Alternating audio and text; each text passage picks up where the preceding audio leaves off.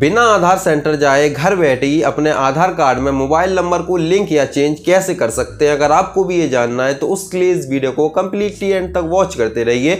और वीडियो अच्छी लगे तो वीडियो को लाइक एंड सब्सक्राइब कर दीजिए। और आपके मन में कोई भी कन्फ्यूज़न या क्वेश्चन हो तो आप मुझसे कमेंट करके पूछ सकते हैं। सो हेलो गाइज़ मैं हूँ आदिल। आप देख रहे हैं टेक्निकल आदिल। तो चलिए वीडियो स्टार्ट करते हैं। तो इसके लिए सबसे पहले आपको अपने स्मार्टफ़ोन कंप्यूटर या फिर लैपटॉप में क्रोम ब्राउज़र को ओपन कर लेना है। और यहाँ पर आकर आपको सर्च करना है आईपीपीबी आपके सामने नंबर फ़र्स्ट पर वेबसाइट आएगी, India post payment bank personal करके, इस पर आपको क्लिक करना है। इस तरीके से अगर आपके सामने ऐड आए तो ऊपर करके आपको कट कर देना है।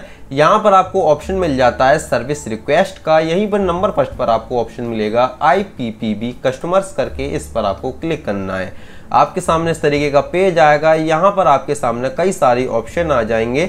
यहाँ पर नीचे स्क्रॉल करके आपको आना है। यहीं पर आपको एक ऑप्शन मिल जाता है। आधार मोबाइल अपडेट का। इस पर आपको क्लिक कर देना है। उसके बाद आपको यहाँ पर देखिए अपनी इन्फॉर्मेशन बनना है। जैसे कि सबसे पहले आपको चूज़ कर लेना है कि आप मिस्टर हैं मिसेज हैं या जो भी हो, वो आप अपने हिसाब से सिलेक्ट कर लीजिए। यहाँ पर आपको अपना फ़र्स्ट नेम फिल करना है, यहाँ पर लास्ट नेम यहाँ पर आपको अपना मोबाइल नंबर डालना है, जिससे डाकिया आपसे संपर्क कर सके।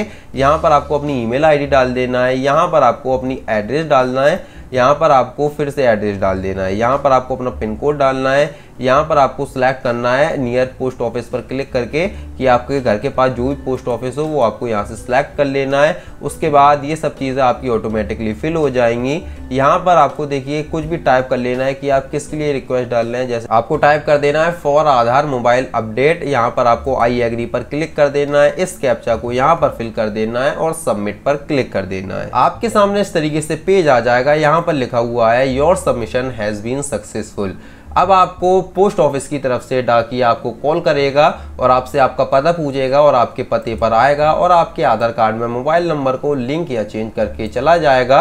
जिसके आपको उसे 50 से 100 रुपए देने होंगे। तो आप इस तरीके से घर बैठे बिना आधार सेंटर जाए, अपने आधार कार्ड में मोबाइल नंबर को लिंक या चेंज कर सकते हैं। उम्मीद है आपको वीडियो ज़रूर पसंद आई होगी। वीडियो अच्छी लगी हो तो वीडियो को लाइक एंड सब्सक्राइब कर दीजिए और साथ ही चैनल को भी सब्सक्राइब करना। तो मिलते हैं इसी तरह की नेक्स्ट वीडियो में। तब तक के लिए टाटा, बाय बाय, जय हिंद।